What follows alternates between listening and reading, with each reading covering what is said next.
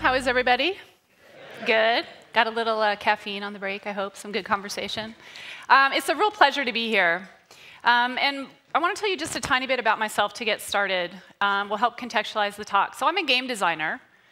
And what that means is that I care deeply about the future as it relates to the role of games in that future. And I actually think games matter a great deal as we begin to think about the future of learning, the future of the workplace, the future of community.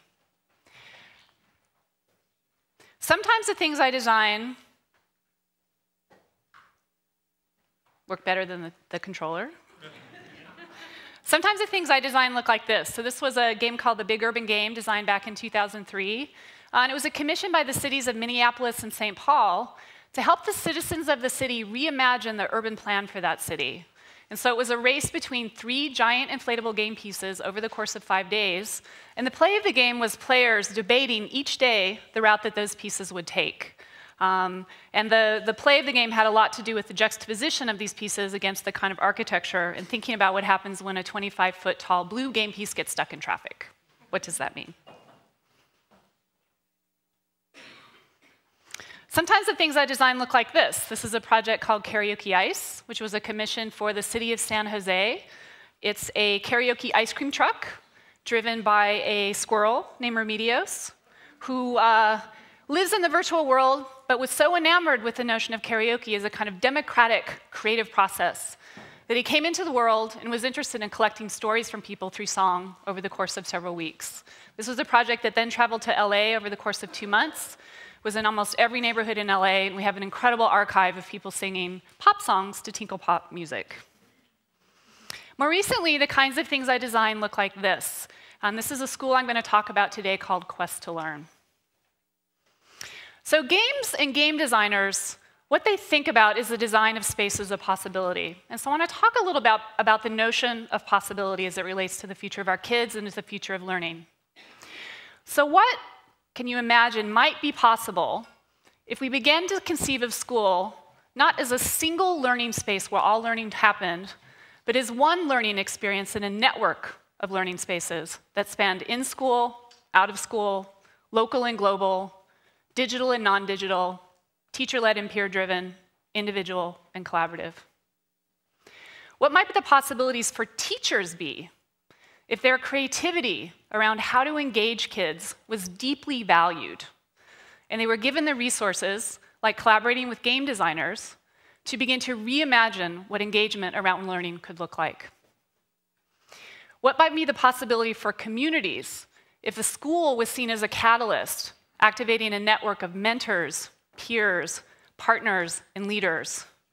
In supporting kids in learning how to be designers and inventors, innovators, and problem solvers. What might be possible for your kids if they were challenged to teach other people how to do stuff that they really know how to do? And that content was valued as an actionable resource, something you could do something with, rather than something just to be memorized. These are all kinds of possibilities that we've been thinking about. What, for example, could be possible for the world if we begin to support kids in being curious in asking questions and building theories about those ideas, in learning how to fail frequently and early in order to learn how things really work, and to engage them with the world at large in ways that feel relevant, exciting, and empowering to them. And most importantly, from my perspective, as someone who is very new to this kind of school space, what would it mean to think about the possibility of school not as a problem to be fixed or something to be complained about, but as an actual thought partner in the learning lives of our kids, our parents, and our communities. So, this was a question we started with two years ago. So, the New York Department of Ed agreed to take on the challenge of a school developed by a small nonprofit that I run called the Institute of Play. And it's a school that became called Quest to Learn. This is a school that opened nine weeks ago in New York City. It's a public middle school started with 79 extremely excited sixth graders, um, and it's going to roll out a grade every year afterwards. Now, the big idea of this school is that we began to say what would happen if we could design a school that, as a system, was designed around the intrinsic qualities of games and play. Okay, this doesn't mean a school about video games. It doesn't mean that video games fill the classrooms, although there's certainly inst instances of that. But instead, it's a, an approach to learning that draws on all of the qualities of how we know games really support players in learning, dropping them into complex problem spaces that are scaffolded to provide just in time learning, providing real time data so players and kids know where they're at, what they know, what they don't know, and where they need to go. Kinds of experiences that really value peer input and put kids in the spot of being teachers of others. So, this is the school. Now, in designing the project, we came up with some ideas around four conditions that we felt we had to create to develop compelling curriculum for the kids. And all of this comes from our understanding of how kids are engaging in interest driven communities outside of school. The very first thing we found we needed to create in them, this is something games do really well, is a need to know. If kids don't have a reason to know something, they're actually not so interested in figuring it out. The second thing we needed to, to, be able to offer was to create in them a need to share that information. So it doesn't matter to us if every kid in the school knows something if they don't share it with somebody else. And from a design perspective, we found that we actually had to design a structure to allow those kids to share what they knew. Okay, so in the school, it takes many different forms in terms of collaborative work, as well as a specially designed custom social network that allows kids to communicate not only with kids in the school, but also with other people that we're collaborating with. And then the last piece is something that we don't think a lot about is that the knowledge, the knowledge that kids have becomes extra valuable to them if they're able to export it outside of contexts that may be meaningful to adults, but are not so meaningful to them. So the ability for them to export cool stuff that they're doing in school and in the after school space to spaces that they find a value, whether it's on YouTube, it's on a MySpace page, in another kind of social network, their own blog, is incredibly important. So, for example, this semester in the school, the kids are working on a code breaking mission. And a need to know has arisen when last week they demanded to be taught how to convert fractions to decimals in order to create a particularly gnarly piece of code that they'd found hidden in one of the library books.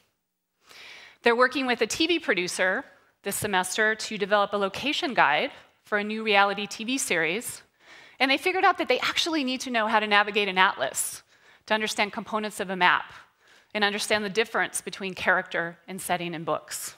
And so yesterday, the, many kids um, came up to one of our teachers and asked for some extra books in the library so that they could create a study group in order to create character profiles for contestants that might be on the show. We also have a class where kids have asked to learn how to create more professional looking video tutorials for a hapless group of fictional inventors called the Troggles, which are a little community that lives in a game called Little Big Planet, who actually know nothing about math and keep inventing terrible things. And so the kids have taken it upon themselves to teach the Troggles the purpose of standardized measurement. And they realized that their video skills are not so great. They felt like they could teach better if they could communicate better, and so they've asked for an extra class in learning how to do video work. So these are the kinds of ways that curriculum at Quest is being developed.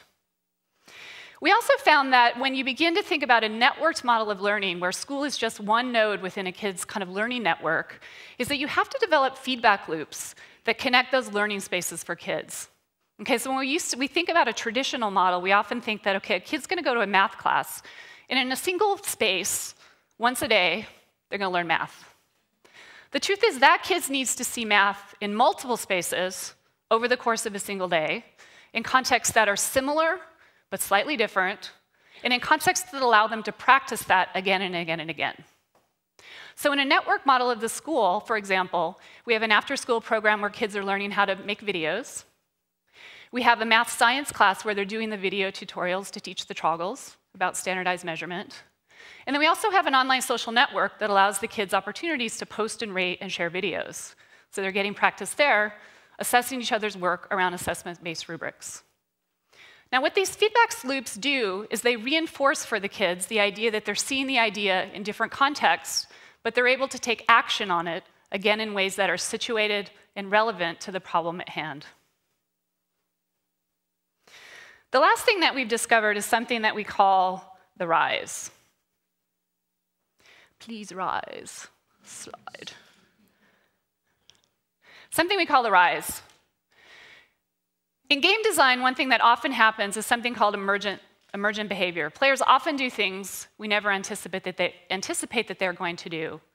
And this is often possible because of the kind of rigid structure of rules provide for the kind of flexibility and improvisation of play. And this balance between a kind of rigidity of a hard skeleton and the softness of play is actually the place where creativity and learning resides, is what we would argue.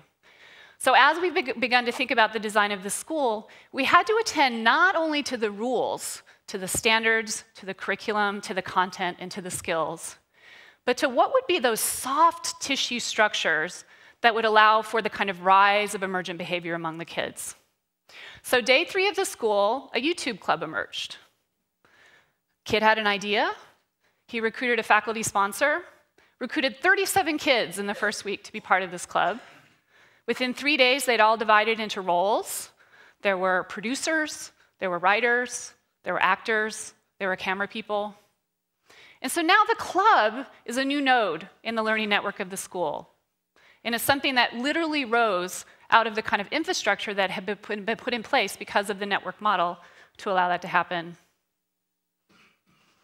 So I actually think the challenge for us and the challenge that I would put forward to you today is I don't think that we're doing enough for our young people to let them rise. In order to do this, it requires us to design systems that enable rise, not design systems that shut them down. And that's what I feel like the way we've been thinking about school for a long time shuts them down.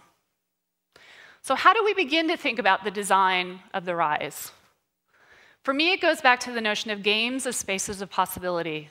Those spaces of possibility provide for players a belief that anything is possible.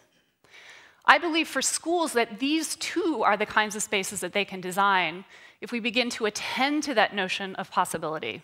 So, this is a challenge that I'm going to put forward to you all today. Um, I invite anyone to come to New York, come visit the school, uh, maybe in the spring um, when things die down a little bit. Um, but it's remarkable and incredibly exciting work, and I thank you for letting me share it with you today. Thank you.